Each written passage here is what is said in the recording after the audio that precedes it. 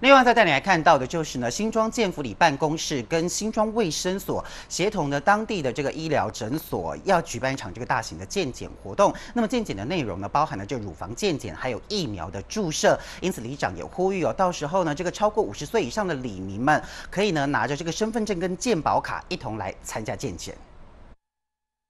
新庄健普里办公处以及新庄卫生局协同当地的医疗诊所，将共同举办乳房健检以及疫苗注射，欢迎年满五十岁的民众，届时在活动当天携带健保卡还有身份证到里办公处办理手续，来守护自己的健康。啊，咱见到你哦，伫个十月七日啊，甲暗时啊六点甲七点啊，咱民生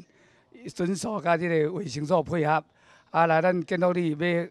吼，咱遮里面检查乳房检查，啊，有打打疫苗，啊，迄个流感疫苗，啊，希望到十月七日，啊，再踊跃来即个里办公处遮头前遮，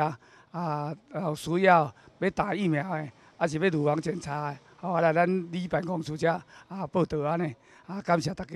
里长表示，身体健康的目的就是为了早期预防，做好早期治疗的关键。因此，希望民众届时踊跃参加，过程完全是免费，欢迎民众共襄盛举。伊即摆是用五十岁以上就会使打迄个流感疫苗啦，啊，迄个摕爱摕健保卡来啦，免钱啦，啊，注意啊，摕健保卡来就会使安尼。当地医疗诊所表示，自我检查和医师触诊都是日常乳房保养的重要一环。不过，这些和乳房摄影术相比，都只能够算是辅助的工具之一。因此，欢迎民众当天来参加健检，才能够为身体做好全面性的防护工作。